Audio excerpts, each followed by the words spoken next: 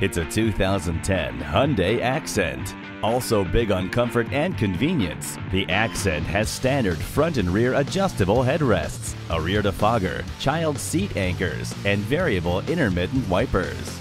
The sporty Accent gives you the best of all worlds with its great handling, superb fuel economy, and spunky performance. Hare Chevrolet, a dealer for the people. Stop in today. We're easy to find just west of Highway 37 at 2001 Stony Creek Road in Noblesville, Indiana.